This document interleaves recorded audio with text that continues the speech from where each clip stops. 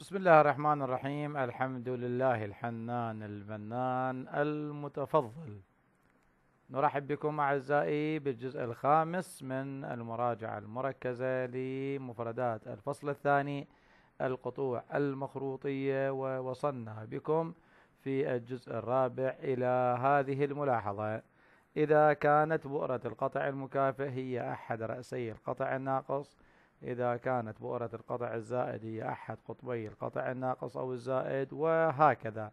سوف نحاول أن نبسط هذه الملاحظات عن طريق الرسم وكونوا معي أعزائي. هذه المعادلة التي مرت أمامكم الآن هي معادلة قطع ناقص. والمعادلة التي مرت بكم الآن هي معادلة قطع مكافئ. لاحظ عزيزي هنا أن هذه النقطة أن هذه النقطة هي تمثل بؤرة القطع المكافئ وفي نفس الوقت هي بؤرة القطع الناقص. هنا عندما يقول لي في السؤال قطع ناقص إحدى بؤرتي هي بؤرة القطع المكافئ. ما علينا إلا أن نستخرج بؤرة القطع المكافئ وكم سوف تكون البؤرة؟ ثلاثة صفر. سأقول أن موجب سالب ثلاثة صفر هي بؤرتي القطع الناقص. إذا طلعت بؤرة القطع المكافئ صفر سبعة سأقول أن صفر موجب سالب سبعة هي بؤرتي القطع الناقص. فعندما يقول بؤرة هي بؤرة بؤرة القطع المكافئ هي بؤرة القطع الناقص أي أن ال P ستساوي C الملاحظة الأخرى عدنا مرة أخرى إلى القطع الناقص ولكن كن معي عزيزي الآن. لاحظ هنا الأمر سوف يختلف. أن هذه النقطة التي أمامك هذه النقطة التي هي تمثل بؤرة القطع المكافئ أصبحت رأس في القطع الناقص. إذا يقول لي في السؤال جد معادلة القطع الناقص الذي أحد رأسيه بؤرة المكافئ. إذا سوف أستخرج بؤرة المكافئ ومنها قيمة P. سأقول له أن ال P تساوي A إذا قال أحد رأسيه هو بؤرة القطع المكافئ أن ال P تساوي A إذا نستمر معكم أعزائي. لو كان الأمر هنا مختلف لاحظ ما هو الفرق بين القطع الناقص الأول والقطع الناقص الثاني. هنا القطع الناقص بؤرته تقع على محور السينات لكن هنا القطع الناقص بؤرته تقع على محور الصادات وهذا هو القطع المكافئ. إذا سيقول لي في السؤال جد معادلة القطع الناقص الذي أحد طرفي محوره الصغير هو بؤرة القطع المكافئ وقلنا قبل قليل سنسميه جدلا قطب. إذا هنا سيكون ال P تساوي B إذا قال أحد رأسيه بؤرة المكافئ فإن ال P تساوي A إذا كان أحد قطبيه بؤرة المكافئ فالبي تساوي بي وهذا الكلام ينطبق إذا كان القطع ناقص أو كان القطع زائد. أما إذا قال في السؤال جد معادلة القطع الناقص الذي يمر ببؤرة المكافئ. هنا الأمر سوف يختلف قليلا ويحتاج إلى بعض التركيز. جد معادلة القطع الناقص الذي يمر ببؤرة المكافئ. إذا كانت بؤرة المكافئ تقع على محور السينات والقطع الناقص يقع على محور السينات البؤرتين فإنها تمثل أي حسب الملاحظة اللي أخذناها في الجزء السابق. لأن أي نقطة فيها صفر تكون في القطع الناقص رأس إذا كانت على نفس محور البؤرة وتمثل قطب إذا كانت على غير محور البؤرة. فإذا قال في السؤال جد معادلة القطع الناقص الذي يمر ببؤرة المكافئ. هنا ربما تكون ال P تساوي A وربما ال P تساوي B حسب موقع البؤرة. لكن إن قال جد معادلة القطع الزائد الذي يمر ببؤرة المكافئ فلا بد أن البي تساوي A وهذا الكلام كله إذا كان السؤال بدون انسحاب. يعني قطع ناقص وقطع زائد مركزه. نقطة الأصل. إذا هنا نستمر بعرض الرسومات التوضيحية. إذا لاحظ عزيزي هنا هذه المعادلة هي تمثل ماذا؟ إذا هذه المعادلة التي أمامك إنها تمثل معادلة قطع مكافئ. كيف سأربط القطع المكافئ بقطع آخر؟ لاحظ عزيزي أن هذه تمثل معادلة قطع زائد. إذا جد معادلة القطع الزائد الذي يمر ببؤرة المكافئ هذا الأمر محسوم. إذا مر القطع الزائد بنقطة بها صفر فإنها تمثل الرأس حتما.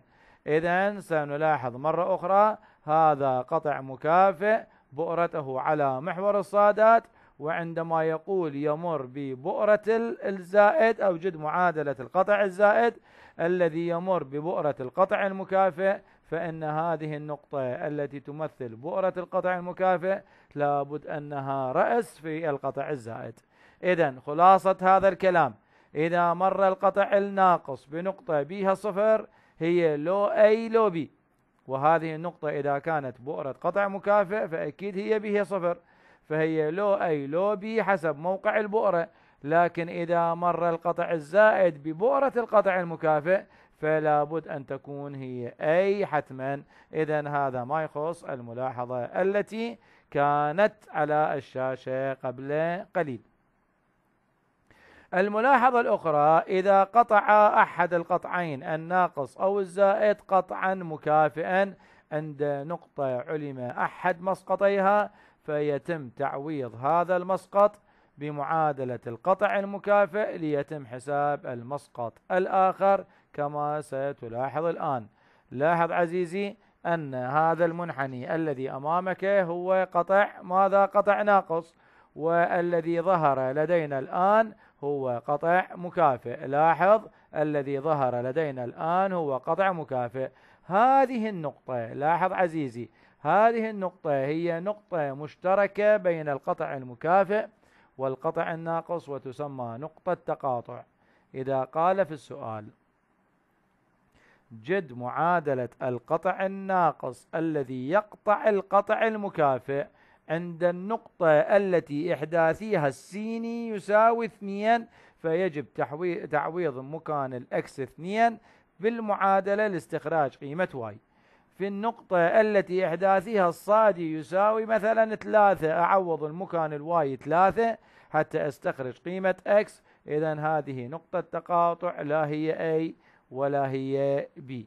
إذا لاحظ عزيزي أن بؤرة القطع المكافئ كالتي أمامك وهذه النقطة هي تمثل نقطة التقاطع والنقطة هي تمثل X و Y. إذا أرجو أن يكون الرسم واضحا ومع النقطة الثامنة. النقطة التوضيحية الثامنة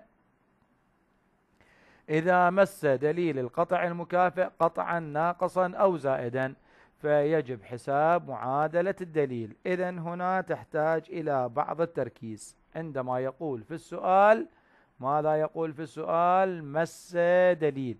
جد معادلة القطع الناقص الذي يمس دليل القطع المكافئ. جد معادلة القطع الزائد الذي يمس دليل القطع المكافئ.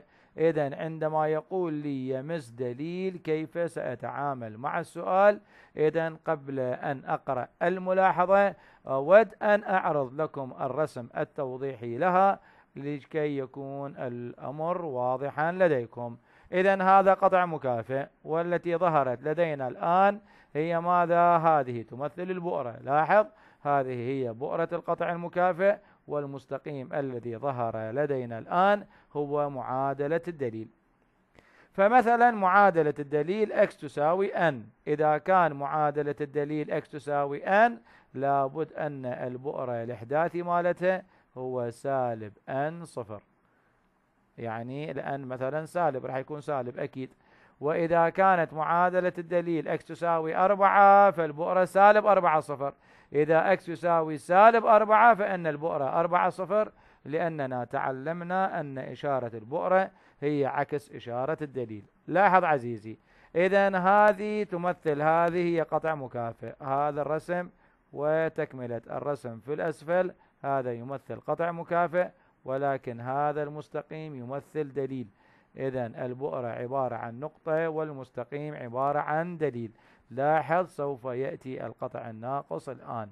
لاحظ عزيزي. هنا القطع الناقص القطع الناقص كما تشاهدون يمس دليل المكافئ. الملاحظة تقول إذا كانت معادلة الدليل x تساوي n فإن نقطة التماس هي n صفر. إذا كانت معادلة الدليل x تساوي n فإن نقطة التماس n صفر. وإذا كانت معادلة الدليل كما ستشاهدون الآن لاحظ أن معادلة الدليل y تساوي m وهذا القطع الناقص فإن نقطة التماس ستكون صفر m. إذا كيف يكون السؤال في الامتحان الوزاري؟ يقول لي جد معادلة القطع الناقص. إذا هنا كن معي عزيزي. حاول أن تركز معي.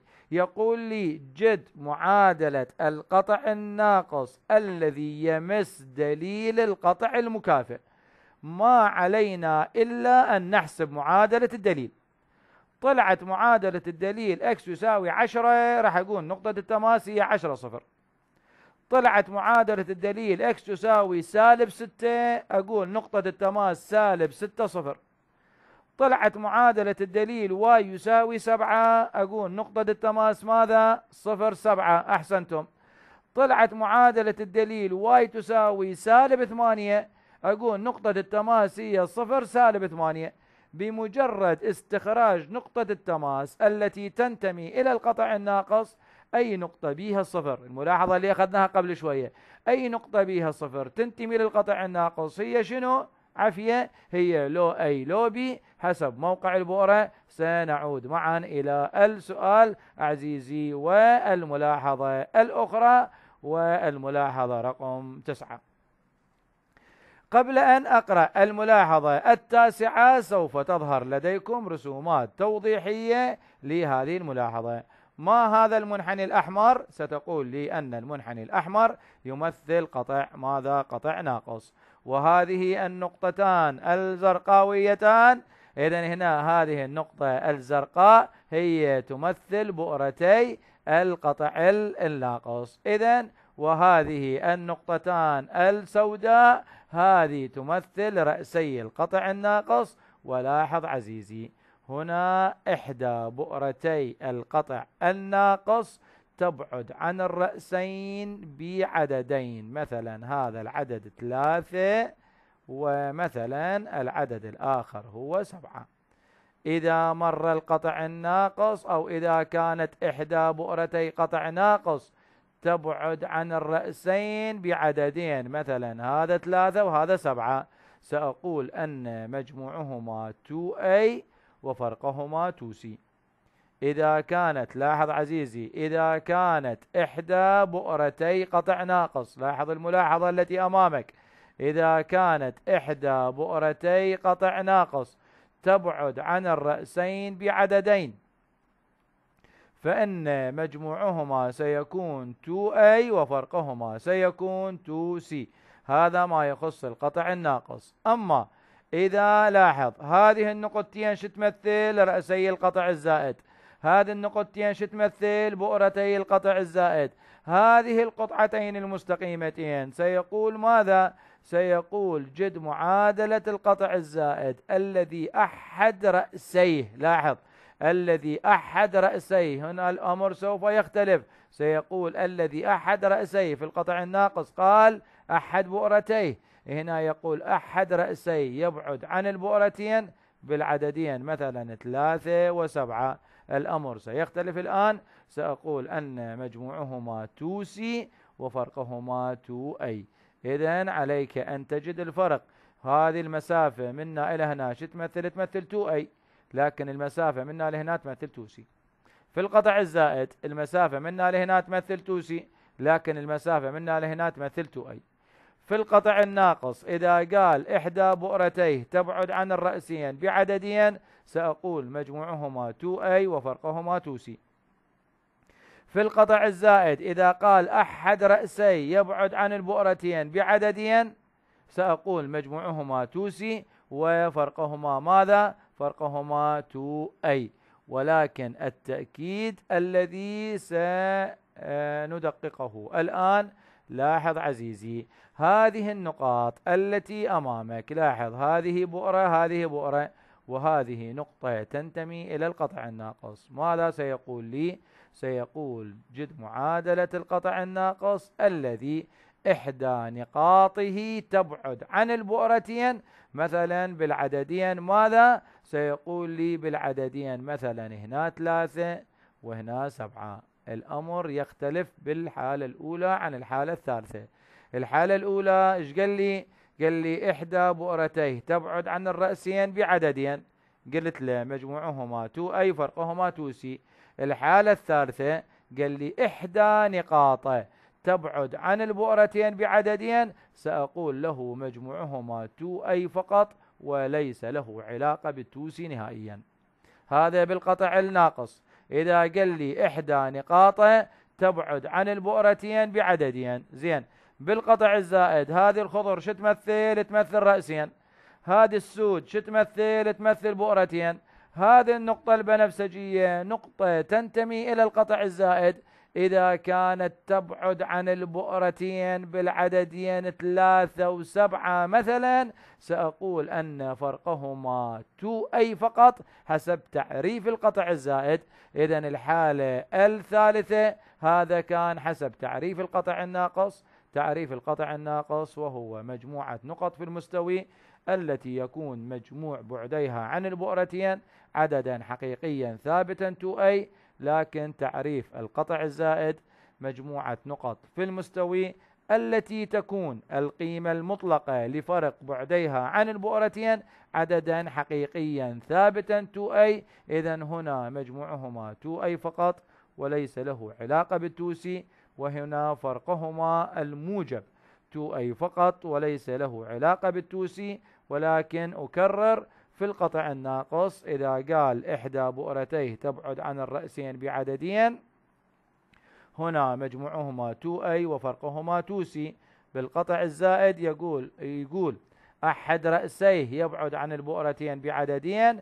هنا شو نقول له؟ نقول له مجموعهما 2C وفرقهما 2A إذا أعزائي هذه الملاحظات التي ذكرناها الآن هي تعتبر خلاصة عامة عن أهم الأمور الموجودة في الفصل الثاني. سأعرض عليكم مجموعة من الأسئلة الواجب.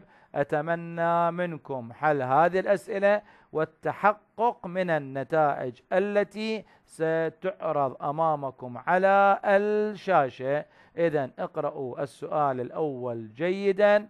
وإذا آه، يمكنكم إيقاف المقطع قليلا وقراءة السؤال وتسجيله ورقة وقلم ومحاولة حل السؤال ومن ثم التحقق من الناتج مجموعة من الأسئلة الواجب سأناقشكم بها إن شاء الله يوم غد بإذن الله. ما عليكم إلا أن تسجلوا هذه الأسئلة تباعا وتحاولوا حلها. هذا السؤال الثاني أمامكم وأمامكم. الآن السؤال الثالث ويتبعه مجموعة تأكيدات. جد معادلة القطع الزائد الذي طول محوره الحقيقي يساوي لاحظ عزيزي يساوي البعد بين بؤرة القطع المكافئ ودليله. هذه الملاحظة هذه الكلمات البعد بين بؤرة القطع المكافئ ودليله تساوي 2 p هذا قانون حفظه لا تنسى. البعد بين بؤرة القطع المكافئ ودليله تساوي 2 p بعد أكو تأكيد آخر.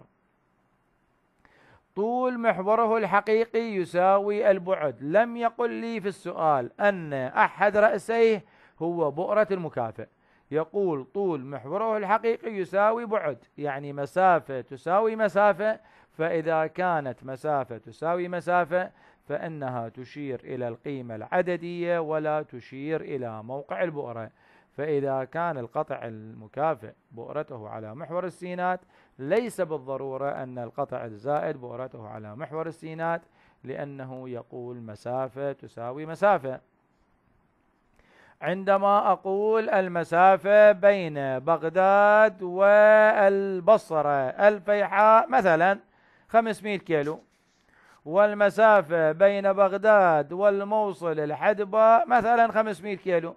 أقول أن المسافة بين بغداد والبصرة تساوي المسافة بين بغداد والموصل. هذا لا يعني أن الموصل تقع في البصرة. إذا مسافة تساوي مسافة تشير إلى القيمة العددية ولا تشير إلى الموقع تماما.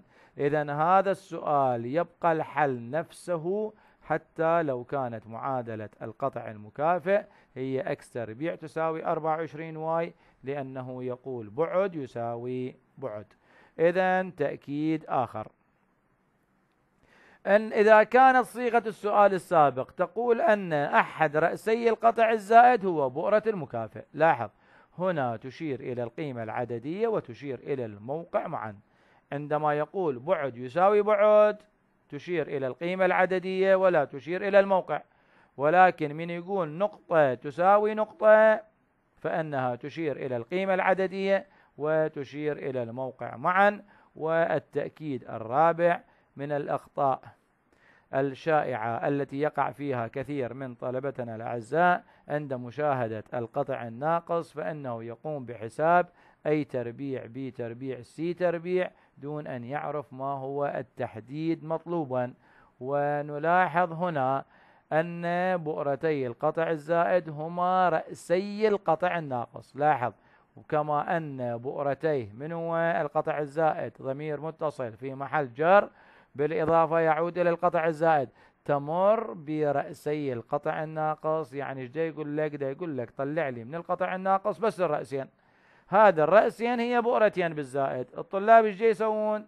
من دا يشوفون معادلة قطع ناقص. رأسا أي تربيع 100 بي تربيع 64 سي تربيع 36 وما يعرف وين رايح. إذا جاوب على قد السؤال. تمر برأسي القطع الناقص. نحسب من القطع الناقص الرأسين فقط وننتقل معكم إلى السؤال الرابع جد معادلة القطع الزائد الذي يمر ببؤرتي الناقص إذا هنا نقوم بالقسمة على 396 نقوم بحساب بؤرتي القطع الناقص والتي هي تنتمي إلى القطع الزائد ولأنها فيها صفر ونقطة بها صفر تنتمي للقطع الزائد لابد أنها أي.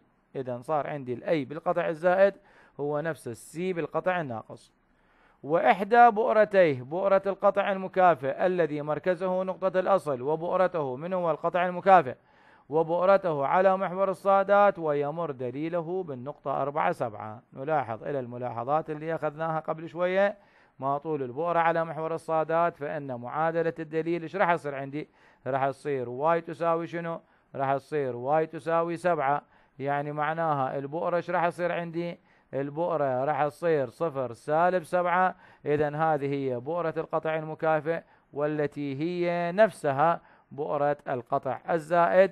إذا هنا أترككم مع حل هذا السؤال ونلاحظ إذا مر القطع الزائد الذي مركزه نقطة الأصل بنقطة تقع على أحد المحورين فإنها تمثل الرأس حتما كما ذكرنا قبل قليل. أما في القطع الناقص فإنها تمثل أما الرأس أو القطب. سؤال آخر. أعزائي قطع مكافئ معادلته x تربيع يساوي 10 y ناقص 3 k y. من الأسئلة المهمة جدا وهذا سؤال وزاري أعتقد 2017 وأترككم مع حل السؤال وسأناقشه معكم يوم غد إن شاء الله. حاولوا قراءة السؤال. وقراءة التأكيد ومن ثم حل السؤال. وهنا أيضا أمامكم السؤال السادس. أعتقد السؤال بسيط وبعده سيكون السؤال السابع. لاحظ قطع ناقص إحدى بؤرتيه تبعد عن الرأسين. قطع زائد أحد رأسي يبعد عن البؤرتين. تحدثنا عن هذا الأمر قبل قليل. وأخيرا السؤال الثامن. إذا أترك لكم مجموعة من الواجبات. ثمان أسئلة تحاولون تحلوها أعزائي طلبة. إذا أعزائي أترككم مع حل الأسئلة الواجب وألتقيكم يوم غد إن شاء الله. سأناقش حلول هذه الأسئلة معكم. أرجو منكم أن تجتهدوا في حل هذه الأسئلة لكي ننهي الفصل الثاني وننتقل بعده إلى الفصل الثالث لنوفق إن شاء الله في إكمال جميع أجزاء سلسلة المراجعة المركزة من خلال دليل استذكار مكثف من خلال برنامج الموزابوك. أستودعكم أعزائي بأمان الله.